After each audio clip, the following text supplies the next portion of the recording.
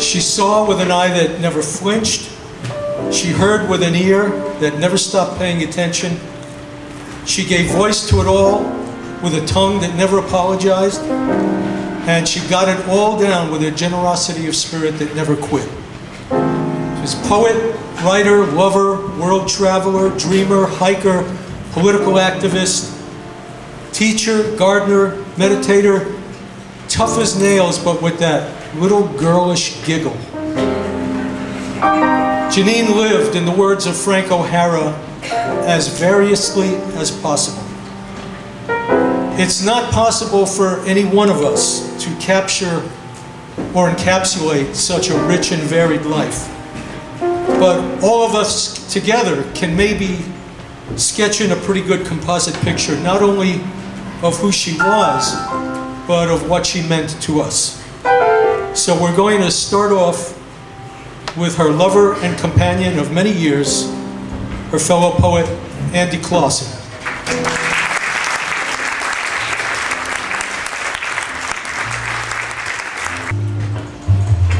She was not a poetess, she was a poet. An intimate portrait of a spiritual warrior. What makes a place spiritual?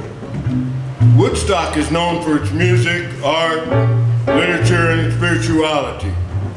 Yes, it is the mountains, the unstoppable waters of life, the monasteries, ashrams, churches, shuls, meditation centers, the friendliness. Some would even say it's taverns, and its history too. That means people. Let me tell you about one of Woodstock's spiritual people. Janine Pommy Vega grew up in New Jersey in a proletarian family. After high school, straight A's, valedictorian 16, instead of college, she went to Greenwich Village and moved in with Allen Ginsberg and Peter Orlovsky and became a poet and the young confidant and lover of major and minor beat poets. She was in Paris when she lost her husband, the painter Fernando Vega. A widow at 23, she embarked on a life of art and debauch. City Lights published her first book, Poems for Fernando. She traveled to and lived, in Israel, Europe, the Himalayas, South America, filling journals, composing verse. She had hundreds of lovers. She would go to Peru, Fernando's homeland, again and again. In the late 60s, she went to the West Coast and joined up with the Diggers. Later became a Hells Angels girlfriend. She lived in Hawaii with Lenore Kandel, who was a hermit on the island of the sun on Lake Titicaca for two years.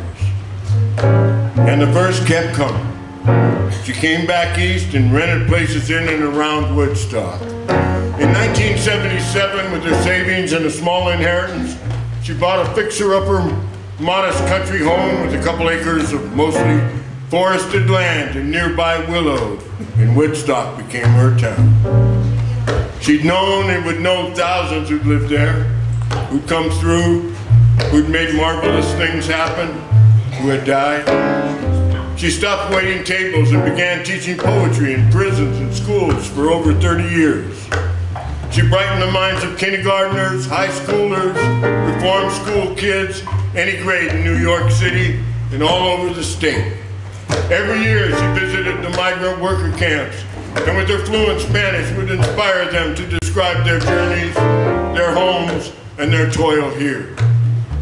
She brought the deaf poet Peter Cook into Eastern Correctional Facility for the 40, 50 incarcerated deaf and published and facilitated publishing of prisoners' work and that of the migrant farm workers, many anthologies. She loved the people of her town.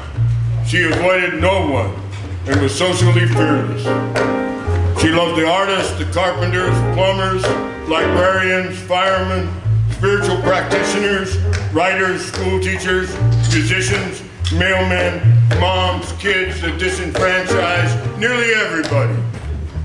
No one ever justly accused her of snobbery. She knew all sentient beings deserve respect, though she'd turn off Bush 43 every time he came on the radio. Not in my home. Freedom was no myth to Janine. She was one of those women born during World War II who came into adulthood thinking, I can do what men do without the violence. She fought for freedom and just do for women all her adult life.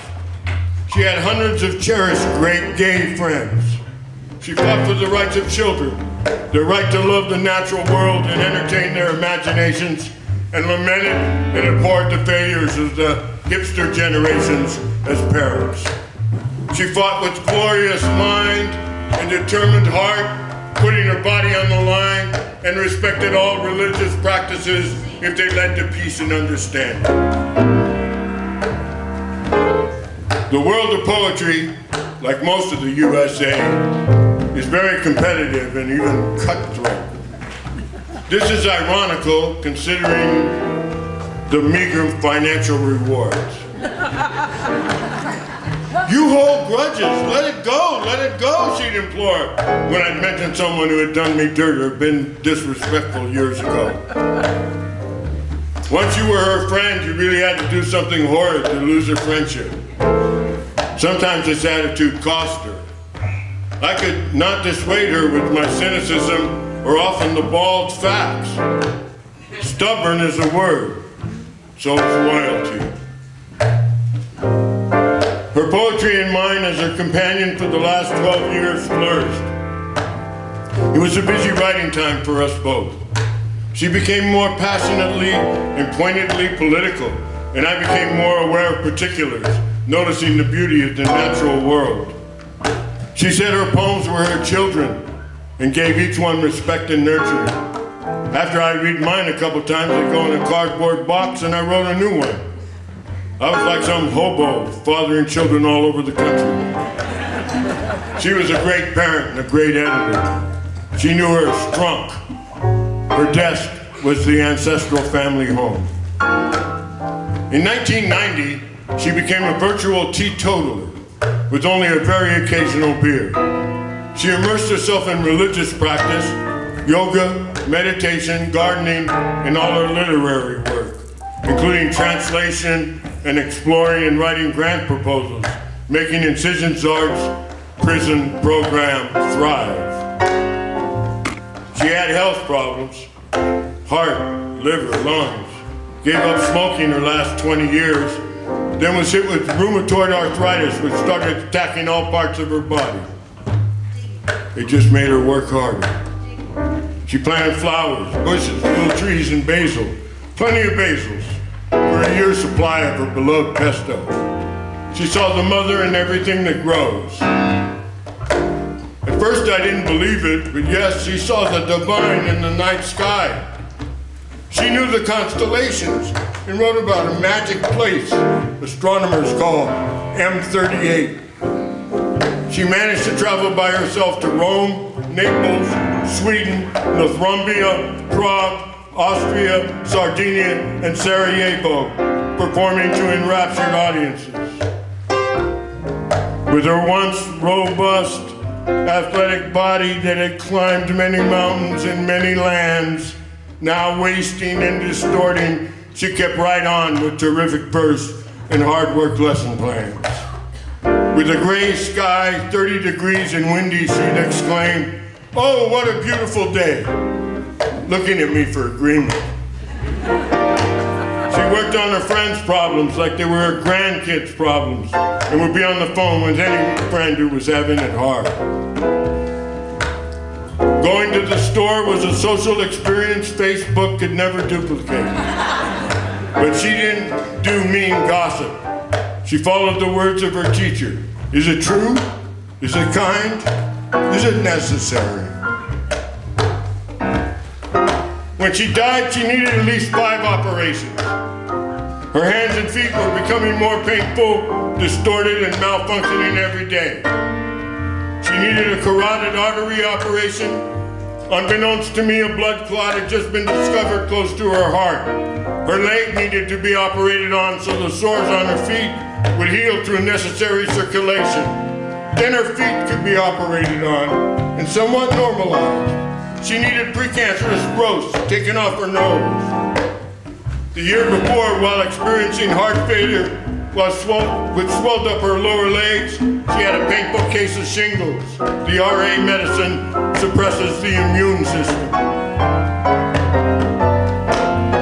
One day before her death, she was reluctantly deciding to cancel her prison class, and she could only walk an inch at a time with my assistant for the sores on her feet and the gout. Joe Schwartz directed me to a place called the Closet, and I got a wheelchair and moved furniture out of the way. She was going to nine doctors and the dentist, keeping a whirlwind schedule of appointments, keeping track of it all, the insurance, phoning four or five hours a day for two months. She would not give up. She would not give in. The bills, the huge amount of AMA and herbal medications, a self-reliant dynamo, like a strategist, a commander, and she kept writing poems and stories, teaching, driving seven hours in the rain and snow, listening to mysteries, mantras, her CD with Betty, Nina, Michael, and the recordings from Europe, and the ones with the brothers Bill's combo down in New Mexico. We've gone through five operations together. It had to have been very dispiriting when the titanium wrist in her right hand broke. She had been able to type, to do some simple tasks for herself, and it was back to square one. Let's move to town, get an electric wheelchair, and you'll keep writing. She smiled like I never ceased to amaze her, gave a quick little shake and said, I love you, Andy. I said, if we can't get an electric one right away, I'll push you. You know that. I couldn't or wouldn't, except we were near the end, that fate would let her die before me.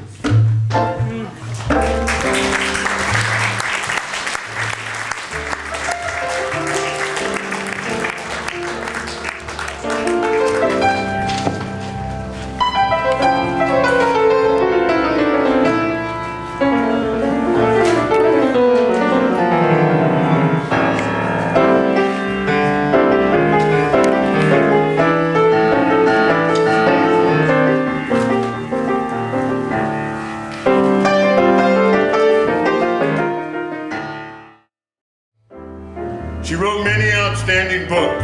Check out Mad Dogs of Trieste, The Green Piano. People ask me, is there anything I can do? Yes, there is something you can do for Janine. Believe me, I know these aren't the best of times, but buy a copy of Tracking the Serpent, read it, give it to someone in their 20s.